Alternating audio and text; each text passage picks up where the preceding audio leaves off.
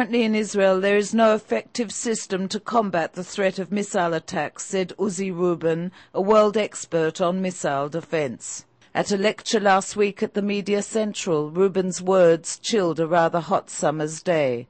According to Rubin, the only way to counter the threat is to adopt what he believes is the only effective method active defense, or as he puts it, shooting the missiles out. There are a lot of people who think that it shouldn't be done, that's not the right way to do it. I'll explain my rationale why it should be done and how it could be done. My country is under attack and we are not doing enough uh, to, um, to solve the situation.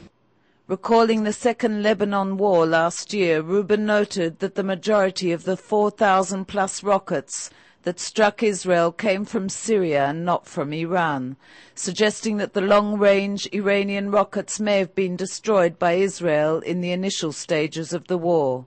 After the 2000 pullout, what they did is increase tremendously their stockpile of rockets, including not just Katyushas but heavy rockets. The Iranian Fajr 3 is 45 kilometers, Fajr 5, 75 kilometers, Zalzal 2, which is basically it's unguided Scud. Range is close to 300 kilometers. Warhead is about half a ton, so it's really a nasty animal. It's not guided, so it's not accurate.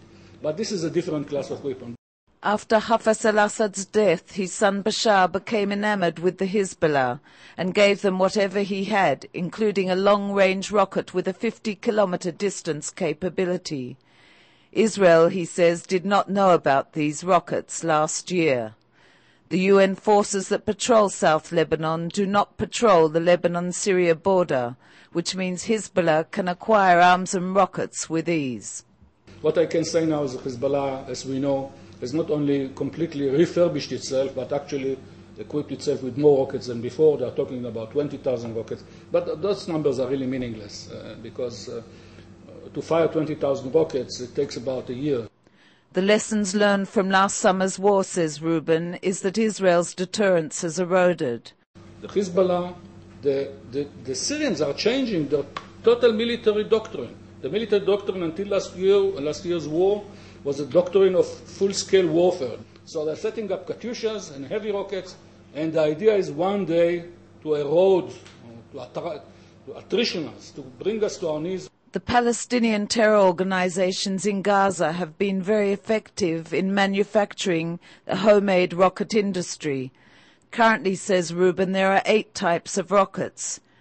They have some heavy rockets, but they don't like to use them as they are too cumbersome and prefer to use the lighter ones that they can fire from courtyards or inside houses located in densely populated areas, he says. Quite ingenious, by the way, very ingenious. I take my hat off to them how to make simple things into deadly weapons. The quality of their rockets are improving and the propellant used is easily obtainable. All you need is sugar and fertilizer. They melt down the sugar and mix it with fertilizer and then pour it into a wooden mold. While there are constant attempts by terror organizations in the West Bank to manufacture rockets, so far their attempts have failed. However, the day they do reach rocket capability, it won't be just Sderot, but Ben Gurion Airport and Tel Aviv that will fall within the rocket range, he warns. So anybody who's thinking about pullback from the West Bank have to think about that too. Those who talk about dialogue and diplomatic talk don't realize who they are dealing with, says Rubin. There is no responsible government. Who can you talk to? Can you talk to Abu Mazen? Can he stop the Hamas? You talk to the Fouad Siniora? Can he stop the, the Hezbollah? They are irresponsible. They are not accountable. They do what they want. So anybody who gives us advice, make peace with the Hamas, should take this in consideration. Passive defense, while it works, does not reduce economic damage. People survive, but houses are destroyed. Reinforcing rooms to protect civilians is a costly business. Active growth defense. I think I try to convince you here. First, that it's essential. Second, that it's feasible. And third, that it's affordable. There is a vast array of weapons technology to be used against rockets or small mini interceptors, mini arrows, says Rubin. Kinetic technology, modified rapid fire guns, small interceptors, direct energy technology. Phalanx A is a ship defense system that can fire up to 6,000 rounds per minute.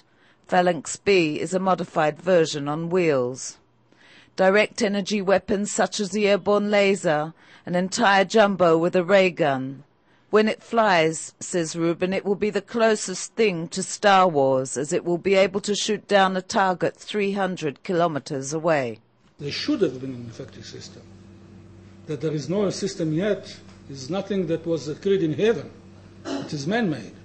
There is no problem with technology five, six, or ten years ago to make defense system against Qassams. Our enemies found a way to have a standoff fire against us without any uh, hindrance.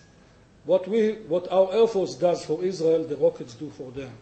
What we need to do is first, as we have air defense, we have to have missile defense. And all around missile defense. Our air defense is not impenetrable, don't make any mistake about it. Individual aircraft penetrated and will penetrate our defenses. Israel had the technology to combat missile threats 10 years ago. Last year there should have been an effective system in place, but there wasn't, he says. This was not decreed in heaven, it was a man-made decision.